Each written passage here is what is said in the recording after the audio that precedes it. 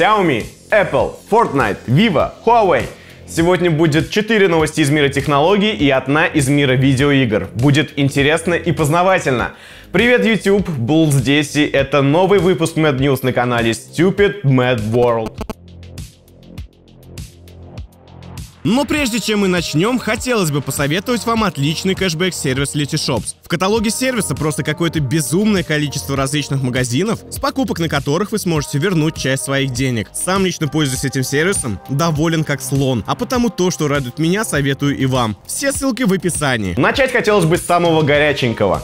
Вчера был представлен новый смартфон от компании Xiaomi. Ну, или почти новый. Решайте сами. Вчера компания показала в Китае очередной смартфон в линейке Redmi – Redmi Note 5. Но не спешите радоваться новому анонсу. По сути, этот смартфон является братом-близнецом смартфона Redmi Note 5 Pro, который месяц назад показали на презентации в Индии. Ну, почти братом-близнецом, так как там все же есть небольшие отличия, но об этом чуть позже. В качестве процессора в Redmi Note 5 используется Snapdragon 636. Оперативной памяти 3, 4, либо 6 гигабайт, в то время как внутренней памяти две вариации – 32 и 64 гигабайта гигабайта. А вот дальше начинаются отличия. Во-первых, камеры. Основная камера состоит из сенсоров 12 и 5 мегапикселей. Апертура у 12-мегапиксельного модуля составляет f1.9 вместо f2.2 у Note 5 Pro. Фронтальная камера имеет модуль на 13 мегапикселей, а не 20, как все у того же индийского собрата. Также в устройстве в качестве разъема используется USB-C, а поставляться оно будет с MIUI 9 на базе 8 андроида. Цена за самую младшую версию составляет 173 доллара, за среднюю 221 доллар, а за старшую все 268 долларов. В продажу смартфон поступит 20 марта. Ну, не знаю, компания не представила чего-то по-настоящему особенного в этой презентации. Да более того, даже в Индии компания не показала чего-то сверхъестественного. Xiaomi Redmi 5 Plus. Как по мне, именно этот смартфон все еще держит планку самого достойного бюджетника от компании. Просить высказать свое мнение на сей счет я вас не буду в комментариях, потому что вы меня и так любите сами этим очень сильно заниматься. Я могу быть не прав, но, по-моему, компания Apple давно таки не показывала каких-либо презентаций весной. Все WWDC летом до презентации айфонов осенью. Но, по всей видимости, компания решила вернуться к прежнему формату и буквально через полторы недели проведет новые мероприятия.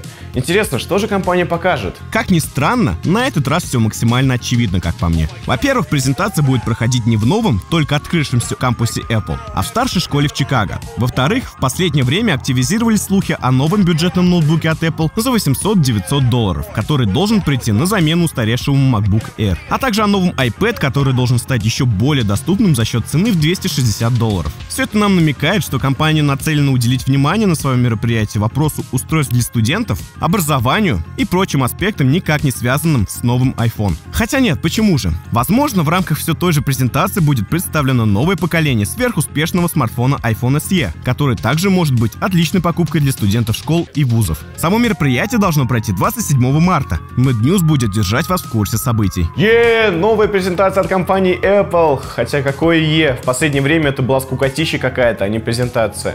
Что осенью, что летом. Но мы, в свою очередь, всей командой SMV попытаемся что-нибудь придумать и, возможно, даже провести трансляцию. Но так как это не точно, Максу все-таки ни слова.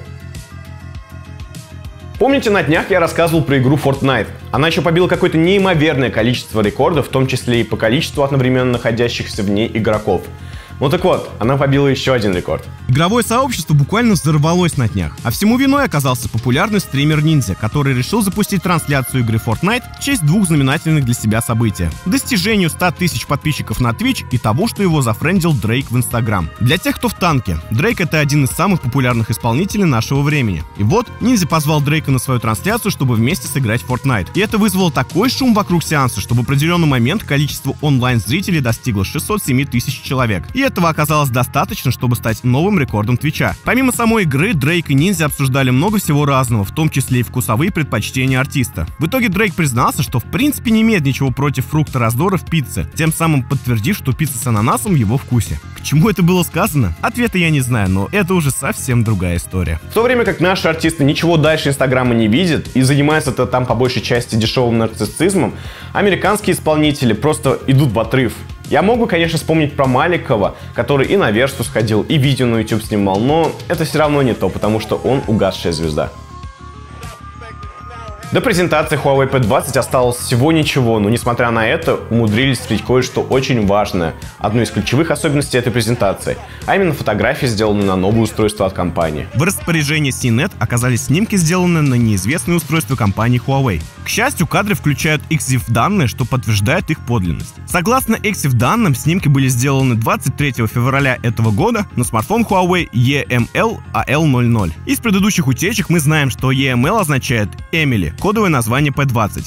Фотографии, конечно, шикарного качества, но мы все понимаем, что сделаны они были в идеальных студийных условиях. А значит, у нас с вами такие снимки на P20 вряд ли получится. Так что все еще ждем презентации, чтобы получить на руки смартфон и сделать собственные тестовые снимки. По имеющимся данным, Huawei P20 получит двойную камеру с основным 16-мегапиксельным модулем со светосилой f1.6 и вторым модулем с диафрагмой f2.4 для оптического зума. P20 Pro будет еще один сенсор, но для чего он нужен, пока что неизвестно. Компания Vivo является чем-то по-настоящему интересным и инновационным. Не зря именно она смогла выпустить в серийное производство первый смартфон с сенсором отпечатка пальцев под экраном, либо же первый по-настоящему безрамочный смартфон с 98% покрытием передней панели экраном. Но даже такая компания, к сожалению, иногда делает какие-то непонятные вещи.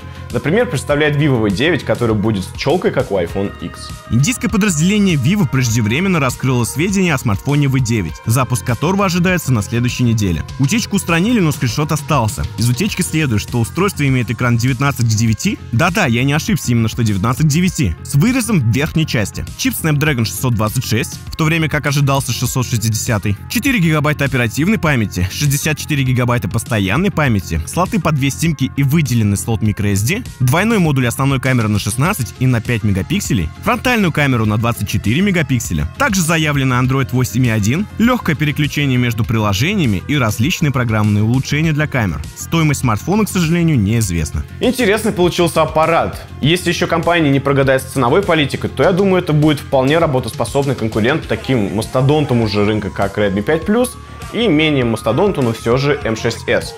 Ну а на этом сегодня все. Всем огромное спасибо за просмотр. Подписывайтесь на канал, ставьте лайки, прожимайте колокольчик, чтобы быть в курсе всех последних событий на канале. Ну все, пока.